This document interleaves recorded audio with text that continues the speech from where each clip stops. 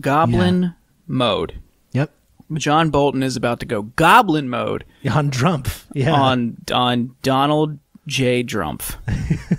I'm psyched, man. What Yeah. the f- what what world are we living in? I don't know. I don't know. It was strange to see that take off from a from a Twitter meme. All of a sudden, it's being used by all the different brands. They're getting involved. It really kind of exploded. It really was. I mean, we can make fun of it. It really was the year of going goblin mode, though. Yeah, know? we're going goblin mode mode on those Timbits. there we go. That's a- that's On Boxing Tim- Day, you can Tim Hortons do that. hire me. Yeah, I can do these posts.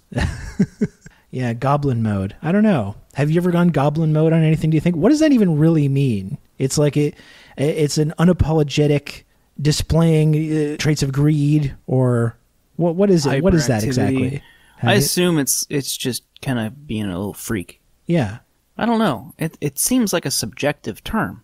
You could anything could be goblin Yeah, mode. it I means goblin a- mode on my Thanksgiving dinner. It's like a Rorschach test. It's just kind of like you can Yeah. bring whatever you want to it, whatever the meaning should be. The, tw- the the tweet that started it was from that account Juniper, uh, Juniper, who that's was right. who was also behind the Snickers dick vein. like Yes. they, took the Snickers dick vein out. I and, like, believe an official NYT correspondent, um, yeah, right. opinion editor. that account is so funny. Yeah. Um, that person is so funny. I mean, But give, they- the, yeah, they- give the New York Times credit for for expanding their horizons with that big. That was a big hire for them.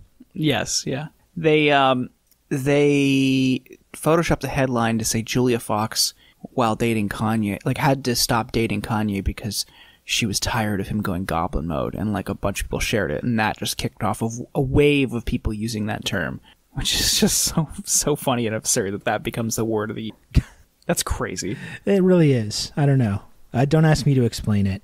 And the whole Kanye thing really kind of like escalated quite a lot It did. since the, Well, since the last like- time we were talking. I mean, I, I was listening to our last episode the other day, like at least the intro, and we're like, "You're all canceled for listening to Kanye." Yeah.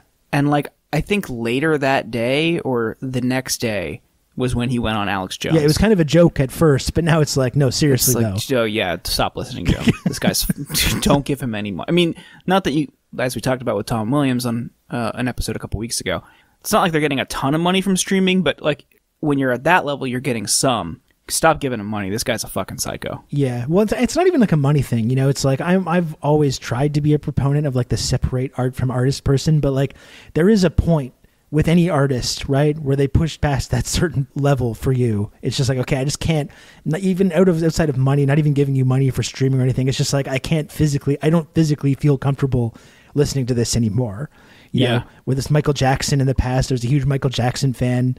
Um, there just gets to be a point where it's like I just can't I can't listen to this artist without thinking about the horrible horrible things that they've uh, said and done. And I think for many people, if they weren't at that point by last week, then they should probably be there now after the Alex Jones interview. Although I must say, both with Alex Jones and Tim Pool, and just uh, like a lot of the other you know conservative media that he's been doing the rounds on, it is very interesting how like expertly a lot of these these media people whether it's alex jones or tim pool or whoever have become so adept at using like dog whistles to talk about you know anti-semitism or to racism or uh, homophobia transphobia whatever and they have this kind of like they've expertly managed to like walk this line between pushing right up to the limit of what you can say before you know really having major career consequences and then pulling back from it. You know, whether it's Steven Crowder, Gavin McInnes, even though he's probably gone over that line many times, but it has been like I don't want to say entertaining, but very interesting to have Kanye going on these programs and just pushing way past that line and just saying the things that a lot of the time people like Alex Jones or Tim Pool might be comfortable suggesting, but just openly saying it. Um, Yeah. and coincidentally saying things that like they're the audiences of these shows I happen to agree with and happen to pick up on because they've carefully cultivated these these audiences. Um, and so you're seeing like the the level of discomfort that he's causing for these social media influencers and media people who want to have Kanye on their show for the clout and to have the you know to have the, the positive benefits in that and then have him come on and just completely completely blow past whatever these are these sort of artificial barriers there are to the speech. And a lot of the time having the audiences of these shows be like hey why aren't, why aren't you agreeing with them? Like that was famous with Tim Pool a few days ago um, when Kanye walked out of his his uh, uh, interview with him because Tim Pool like, refused to go all the way with him to blame like the Jews for controlling you know the media or controlling entertainment, and Kanye walks out of the interview. And I watched back in Tim Pool's live chat. It's just like, "What are you doing, Tim? What is this? L L Tim." It was just wave after wave of hundreds of people getting mad at Tim Pool for not agreeing with him. And I can't say I feel too bad for some of these guys. I mean, this is the audience that they have carefully cultivated over the years.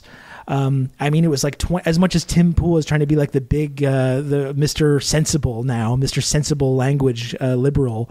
You know, he was he was having dinner with these like neo Nazis and white supremacists like in 2018 when he kind of started to become really popular and courting the alt right. Like all these people were so comfortable courting these alt right movement, and now you see them like twisting and contorting and trying to avoid um, going down this path that that Kanye's going.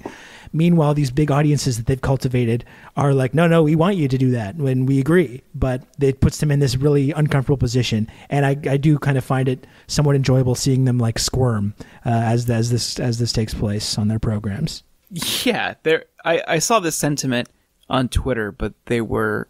Uh, I, so I can't I can't remember who who it was. And it's not like a totally original idea, but they were remarking on how all of these freaks have tried to have him on, and once he says like you know all of these things, like explicitly blaming the Jews and uh, explicitly saying that Hitler did good things, they're like, well, we don't say it like that exactly. it's just like they're all trying. They all think like, oh, I can fix him. Like I can help him walk the line. Yeah. And then he just says it all, and they're like, well, Yeah, just Alex Jones is it just back a him little soft- bit. Alex Jones is just throwing him softballs, like trying to like help him, trying to be like, and obviously you don't believe that the Nazis were good, and Kanye's like, like no, I do, I do believe that. Like- and he's the completely awkward laughter after. God, it's it's really something. Thank you for listening to this sample of the Insurgents podcast. To hear the rest of this episode and for more bonus content, please subscribe at theinsurgents.substack.com.